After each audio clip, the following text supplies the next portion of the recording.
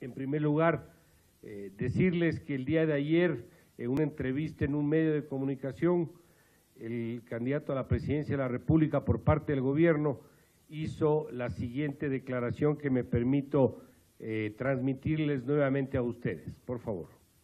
Imagínese usted, durante un año y medio no se ha recibido un solo centavo por concepto de ingresos petroleros.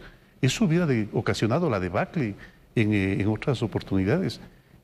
Tuvimos que pagar a la OSI, tuvimos que pagar a Chevron hubo una revalorización del dólar, hubo devaluación de, las monedas en los países vecinos. Nosotros no podemos hacerlo, no tenemos ese mecanismo para hacerlo. ¿Por qué? Porque hemos considerado que el dólar nos ha sentado bien y los ecuatorianos confían en él y hay que mantener eh, la situación de la dolarización, mientras nosotros no desarrollemos nuestras fuerzas productivas y podamos tener con confianza una moneda propia.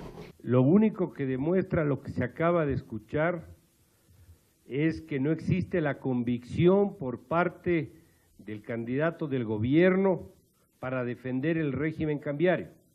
Si uno está convencido de algo, tiene que defenderlo.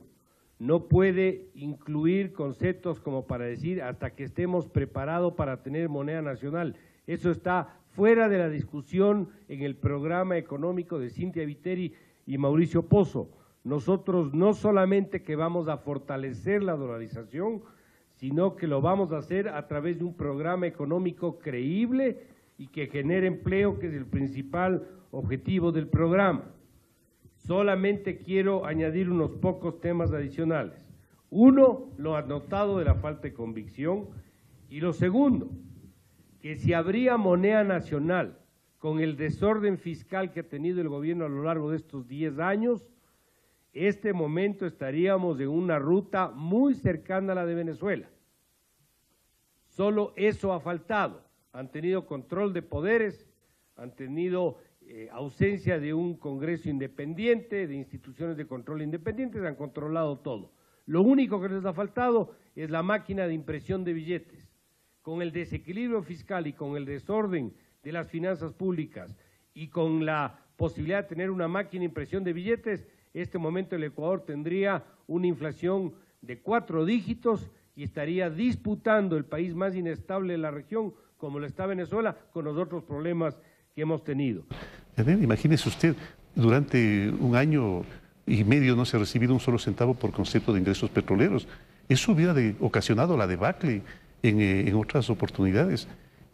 Tuvimos que pagar a la OSI, tuvimos que pagar a, Chevron hubo una revalorización del dólar, hubo devaluación de, las monedas en los países vecinos. Nosotros no podemos hacerlo, no tenemos ese mecanismo para hacerlo. ¿Por qué? Porque hemos considerado que el dólar nos ha sentado bien y los ecuatorianos confían en él y hay que mantener eh, la situación de la dolarización, mientras nosotros no desarrollemos nuestras fuerzas productivas y podamos tener con confianza una moneda propia.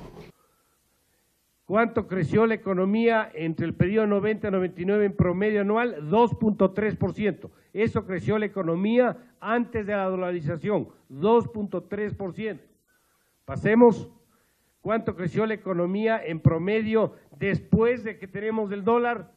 3.7%. Creció mucho más rápido la economía en este periodo. Aclarando que creció más aceleradamente en la primera parte, del 2000 al 2006 creció en promedio anual 4.3 y creció menos entre el 2007 y 2015, que fue del 16, perdón, del 3.4%, a pesar de tener más plata el gobierno y el país en este periodo. Pero aquí queda demostrado que la pobreza cayó más con dolarización, queda demostrado que el crecimiento económico fue más con dolarización y por lo tanto los impactos en empleo también.